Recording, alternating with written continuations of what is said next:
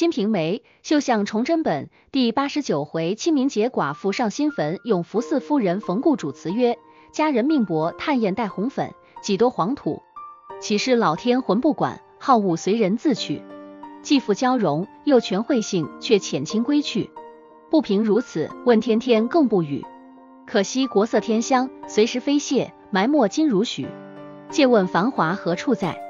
多少楼台歌舞，紫陌春游，绿窗挽袖，姊妹娇眉舞。人生失意，从来无问今古，又调翠楼吟。话说月娘次日备了一张桌，并明指尺头之类。大姐身穿校服，坐轿子，先叫薛嫂押祭礼到陈宅来。只见陈静济正在门首站立，便问是那里的。薛嫂到了万福，说姐夫，你休推不知，你丈母家来与你爹烧纸。宋大姐来了，静济便道，我鸡巴操的才是丈母。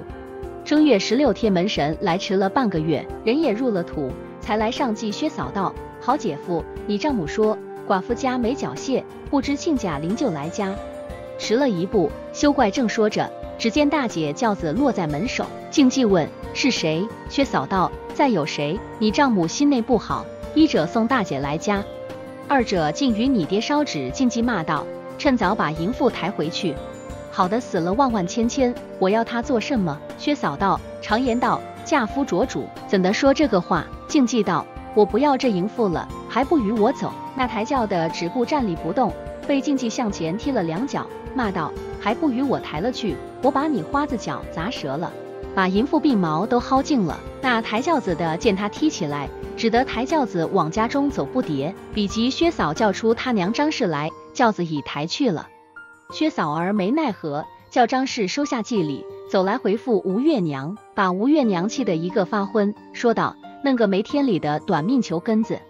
当初你家为了官事搬来丈人家居住，养活了这几年。今日反恩将仇报起来了，只恨死鬼当初揽的好货在家里弄出事来，到今日教我做臭老鼠，教他这等放屁辣骚。对着大姐说：“孩儿，你是眼见的，丈人、丈母那些儿亏了他来，你活是他家人，死是他家鬼，我家里也留一留你。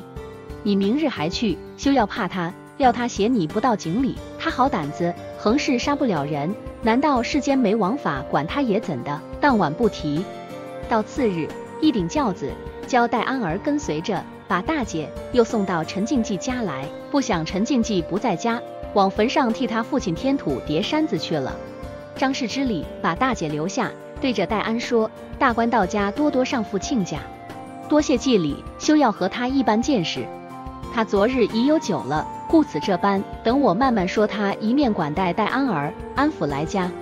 至晚，陈静济坟上回来，看见了大姐，就行踢打，骂道：“淫妇，你又来做甚么？还说我在你家辞饭吃，你家收着俺许多香笼，因起这大产业，不道的白养活了女婿。好的死了万千，我要你这淫妇做甚？”大姐一骂，没廉耻的球根子，没天理的球根子，淫妇出去吃人杀了。没得金拿我煞气，被静济扯过头发，尽力打了几拳头。他娘走来解劝，把他娘推了一跤。他娘叫骂哭喊，说好球根子，红了眼，把我也不认得了。到晚上，一顶轿子把大姐又送将来，吩咐道：不讨将寄放庄莲香笼来家，我把你这淫妇活杀了。这大姐害怕，躲在家中居住，再不敢去了。这正是谁知好事多更变，一念翻成怨恨梅。这里不去不提，且说一日三月清明佳节，吴月娘备办香烛、金钱冥纸、三生祭物，抬了两大石盒，要往城外坟上与西门庆上新坟祭扫，留下孙雪娥和大姐众丫头看家，带了孟月楼和小玉，并奶子如意儿抱着笑歌儿，都坐轿子往坟上去，又请了吴大舅和大妗子二人同去。出了城门，只见那郊原野旷，景物芳菲，花红柳绿，侍女游人不断。一年四季无过春天最好景致。日谓之丽日，风谓之和风，吹柳眼，绽花心，拂香尘。天色暖谓之轩，天色寒谓之料峭。骑的马谓之宝马，坐的轿谓之香车，行的路谓之方径，地下飞的尘谓之香尘。千花发蕊，万草生芽，谓之春信；韶光淡荡，疏景融合。小桃身装脸妖娆，嫩柳鸟弓腰细腻，百转黄鹂惊回午梦。数声紫燕说破春愁。日出长暖早鹅黄，水渺茫浮香压绿。隔水不知谁院落，秋千高挂绿杨烟。端的春景果然是好，有诗为证：清明何处不生烟？郊外微风挂纸钱。人笑人歌芳草地，乍晴乍雨杏花天。海棠枝上眠莺语，杨柳堤边醉客眠。红粉佳人争画板，彩绳摇拽学飞仙。吴月娘等轿子到五里园坟上，戴安压着食盒，先到厨下生起火来。厨艺落座整理不提。月娘与玉楼、小玉、奶子如意儿抱着笑歌儿，到余庄院客座内坐下吃茶，等着吴大妗子不见到。戴安向西门庆坟上祭台儿，摆设桌面三生，更饭祭物。列下纸钱，只等吴大妗子。原来大妗子顾不出轿子来，约已排时分，才同吴大舅雇了两个驴儿骑将来。月娘便说：大妗子顾不出轿子来，这驴儿怎的骑？一面吃了茶，换了衣服，同来西门庆坟上祭扫。那月娘手拈着五根香，自拿一根，递一根与玉楼，又递一根与奶子如意儿替孝歌上，那两根递与吴大舅、大妗子。月娘插在香炉内，深深拜下去，说道：“我的哥哥，你活时为人，死后为神。今日三月清明佳节，你的孝妻吴氏三姐、孟三姐和你周岁孩童孝哥儿，竟来与你坟前烧一墨钱纸。你保佑他长命百岁，替你做坟前拜扫之人。我的哥哥，我和你做夫妻一场。想起你那模样儿，并说的话来，是好伤感人，也败壁，掩面痛哭。”玉楼向前插上香，也深深拜下，同月娘大哭了一场。玉楼上了香，奶子如意儿抱着哥也跪下上香，磕了头。吴大舅、大妗子都住了香，行毕礼数，戴安把钱纸烧了，让到庄上卷棚内放桌席摆饭，收拾饮酒。月娘让吴大舅、大妗子上座，月娘与月楼下陪。小玉和奶子如意儿同大妗子家使的老姐兰花。也在两边打横列坐，把酒来斟，按下这里吃酒不提。却表那日周守备府里也上坟，先是春梅隔夜和守备睡，假推做梦，睡梦中哭醒了。守备慌的问：“你怎的哭？”春梅便说：“我梦见我娘向我哭泣，说养我一场，怎的不与他清明寒食烧纸，因此哭醒了。”守备道：“这个也是养女一场，你的一点孝心。不知你娘坟在何处？”春梅道。在南门外永福寺后面，便是守备说，不打紧。永福寺是我家香火院，明日咱家上坟，你叫伴当抬些祭物，往那里与你娘烧分纸钱，也是好处。至次日，守备令家人收拾食盒酒果祭品，竟往城南祖坟上，那里有大庄院、厅堂、花园、享堂、祭台。大奶奶、孙二娘并春梅都坐四人轿，排军喝路上坟耍子去了。却说吴月娘和大舅、大妗子吃了回酒，恐怕晚来，吩咐戴安、来安儿收拾了食和酒果，先往杏花村酒楼下见高富去处，人烟热闹，那里设放桌席等候。又见大妗子没轿子，都把轿子抬着，后面跟随不坐，领定一簇男女。吴大舅牵着驴儿，押后同行，踏青游玩。三月桃花店，五里杏花村，只见那随路上坟游玩的王孙侍女。花红柳绿，闹闹喧喧，不知有多少。正走之间，也是何当有事。远远望见绿槐营里一座庵院，盖造得十分齐整。但见山门高耸，梵语清幽，当头赤额字分明，两下金刚形势猛。五间大殿，龙鳞瓦砌壁成行，两下僧房，龟背磨砖花嵌缝。前殿素风调雨顺，后殿宫过去未来。钟鼓楼森立，藏经阁巍峨，旗杆高峻接青云，宝塔依稀亲碧汉。木鱼横挂，云板高悬，佛前灯烛银黄，炉内香烟缭绕，壮旗不断。观音殿接祖师堂，宝盖相连，鬼母未通罗汉殿。时时护法诸天将，岁岁降魔尊者来。吴月娘便问：这座寺叫做什么寺？吴大舅便说：此是周秀老爷香火院，名唤永福禅林。前日姐夫在日。曾舍几十两银子在这寺中重修佛殿，方是这般新鲜。月娘向大妗子说：“咱也到这寺里看一看。”于是领着一簇男女进入寺中来。不一时，小沙弥看见，报与长老知道，见有许多男女，便出方丈来迎请。见了吴大舅、吴月娘，向前合掌道了问讯，连忙唤小和尚开了佛殿，请施主菩萨随喜游玩。小僧看茶，那小沙弥开了殿门，领月娘一簇男女，前后两廊参拜观看了一回，然后到长老方丈。长老连忙点上茶来。吴大舅请问长老道号，那和尚答说：小僧法名道坚。这寺是恩主帅府周爷香火院，小僧忝在本寺长老，廊下管百十众僧行，后边禅堂中还有许多云游僧行。常时坐禅，与四方谈月达报功德，一面方丈中摆斋，让月娘众菩萨请坐。月娘道：不当打搅长老宝刹，一面拿出五钱银子，交大舅递与长老，佛前请香烧。那和尚打问讯谢了，说道：小僧无甚管待，施主菩萨稍坐，略备一茶而已。何劳费心赐予布施不易时。小和尚放下桌儿，拿上素菜摘食饼散上来。那和尚在旁陪坐，采取柱儿让众人吃食。忽见两个青衣汉子走得气喘吁吁，暴雷也一般暴雨长老，说道：长老还不快出来迎接？府中小奶奶来祭祀来了。慌的长老披袈裟，戴僧帽布叠，吩咐小沙弥连忙收了家伙，请列位菩萨且在小房避避，打发小夫人烧了纸。祭毕去了，再款坐一会不迟。吴大就告辞，和尚死活留住，又不肯放。那和尚慌得鸣起钟鼓来，出山门迎接，远远在马道口上等候。只见一族青衣人围着一乘大轿，从东云飞搬来，轿夫走得个个汗流满面，衣衫皆湿。那长老躬身合掌说道：“小僧不知小奶奶前来，礼和远接，接待迟了，望勿见罪。”这春梅在轿内答道：“启动长老，那手下半当。”又早向寺后金莲坟上，忙将祭桌纸钱来摆设下。春梅轿子来到，也不到寺，进入寺后白杨树下金莲坟前下轿，两边青衣人伺候。这春梅不慌不忙，来到坟前，摆了香，拜了四拜，说道：“我的娘，今日庞大姐特来与你烧墨纸钱，你好处升天，苦处用钱。早知你死在仇人之手，奴随问怎的也取来府中，和奴坐一处。”还是奴耽误了你，回已是迟了。说毕，令左右把钱纸烧了。这春梅向前放声大哭不已。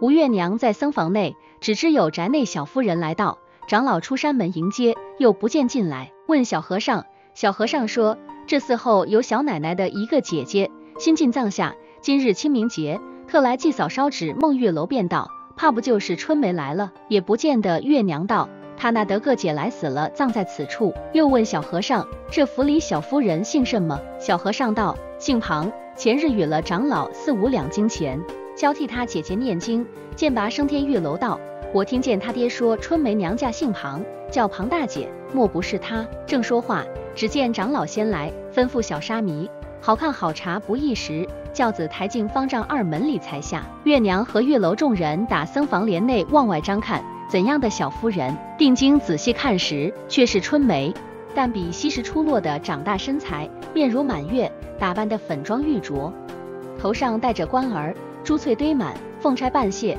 上穿大红妆花袄，下着翠蓝缕巾宽蓝裙子，带着叮当进步，比昔不同许多。但见宝髻巍峨，凤钗半卸，胡珠黄耳边低挂，金挑凤鬓后双脱，红袖袄偏衬玉香肌。翠纹裙下映金莲小，行动处胸前摇响玉叮当，坐下时一阵麝兰香喷鼻，一粉妆成薄梗，花钿巧贴眉间，举止惊人，貌比幽花疏丽，姿容娴雅，性如兰蕙温柔。若非起格生成，定是兰房长旧。眼若紫府琼姬离碧汉，宛如蕊宫仙子下承环。那长老上面独独安放一张工作椅儿，让春梅坐下。长老参见已毕，小沙弥拿上茶来，长老递茶上去，说道：“今日小僧不知小奶奶来这里祭祀，有失迎接，望望恕罪。”春梅道：“外日多有启动长老诵经追荐。”那和尚说：“小僧岂敢？有甚殷勤补报恩主，多蒙小奶奶赐了许多钱衬施，小僧请了八众禅僧，整座道场看经礼忏一日。